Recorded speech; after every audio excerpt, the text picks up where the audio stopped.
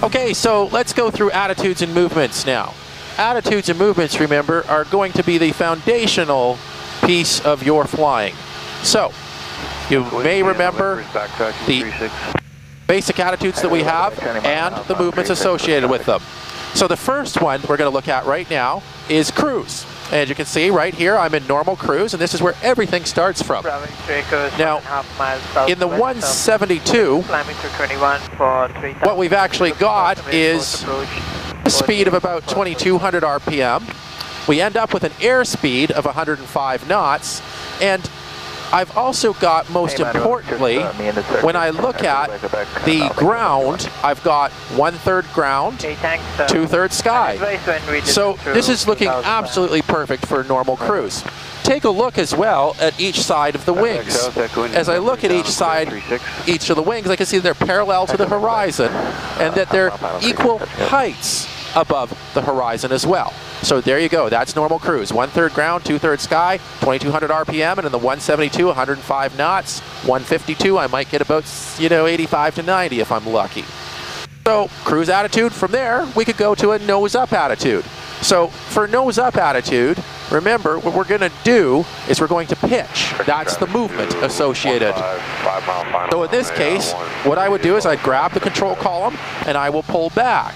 I'm going to see less ground and then it of course, what's going to happen is my attitude indicator is going to show slightly nose up. Altimeter will start to go up. Airspeed will decrease. And my VSI will also go up. So let's try that. Let's move to a nose up attitude.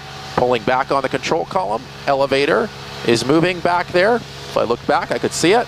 And there you go. Look at that. Not a whole lot of ground there anymore, but a whole pile of sky. And there we go. Airspeed decreasing, altimeter increasing, VSI also going up.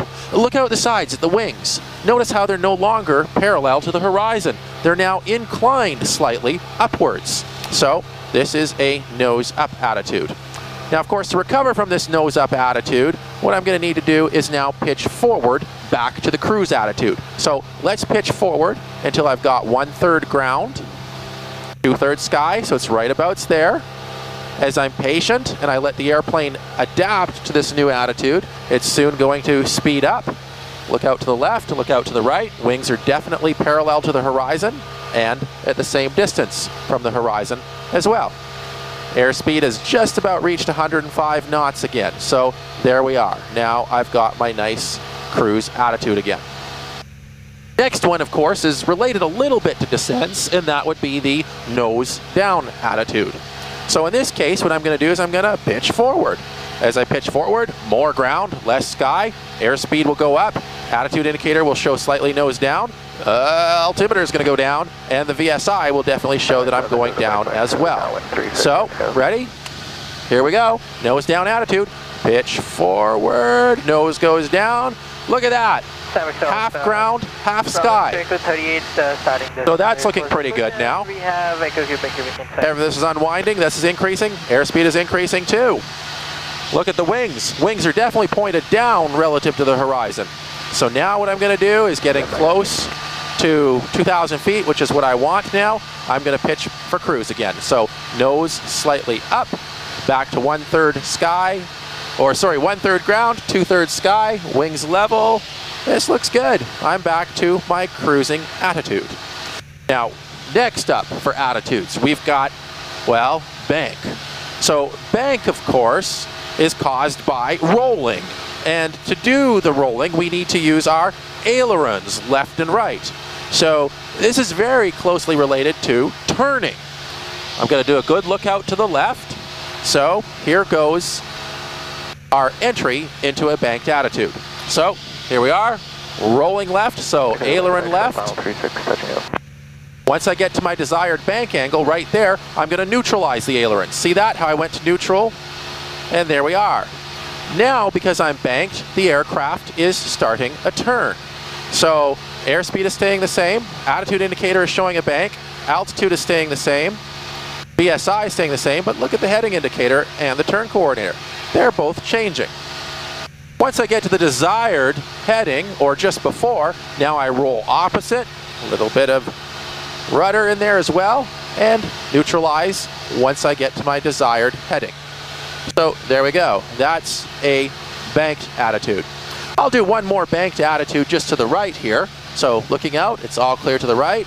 So ready, ailerons in. Gonna need a small amount of rudder with that as well. We'll talk more about that in turns. And there we go. Now I'm banking to the right by rolling to the right.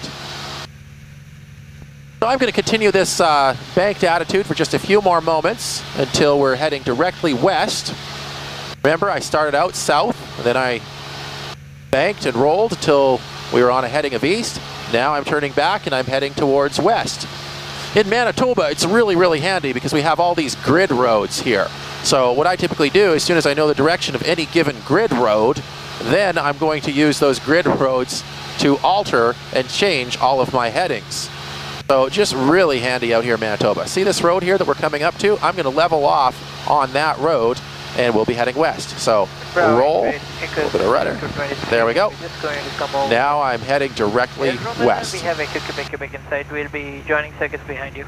Now, to finish attitudes and movements, you may well remember that the final item doesn't really have an attitude associated with it, but it sure does have a movement. And as a pilot, this is one of the most uncomfortable kind of movements that there is. And we're always trying to control this particular movement. So this one is, of course, yaw. Now, I'm going to have to cheat a little bit as I show you some of the yaw, and that's because if I yaw, I'm also going to induce a roll. So you may see me apply slightly opposite aileron as I introduce the yaw. But let's look at this road here that's straight ahead of us to the north, or to the west, sorry. Getting my directions all, or directions all mixed up. So, here I am, heading west, and what's going to happen is the nose is going to move left as I apply the rudder relative to the actual road. And if you were in the airplane right now, you would feel that this is very uncomfortable. It's like a fish flopping around out of a lake or out of water. So, ready? Here we go applying left rudder. So there you go. See that yaw? See how the nose is moving off relative to that road? That is yawing. Now, I'm going to instead yaw off to the right now. Now, this is not the proper way to turn an airplane. If you start turning an airplane by trying to yaw, you're going to get up into a whole bunch of world of hurt. So, there we are. I'm just going to Notice how I'm no longer aligned with this road. So what I'm going to do to get myself lined back up is I'm going to bank a little bit. Once I'm lined up, and now I'm going to roll. There we go. Now I'm parallel that road again. Just to show you yaw, I'm not actually going to apply any aileron here this time. And I'm just going to quickly go rudder left, rudder right, rudder left, rudder right. Are you ready? There we go. Rudder right, rudder left, rudder right, rudder left, rudder right. Now, if you were in this airplane here like the technician is in the back, you're going to get terribly sick. In fact, I might quit this because it looks like he's reaching for the, yeah, he's uh, reaching for the uh, air sickness bag. Okay, that's enough of this lesson then. That's attitudes and movements for you. Let's uh, move on then to straight and level.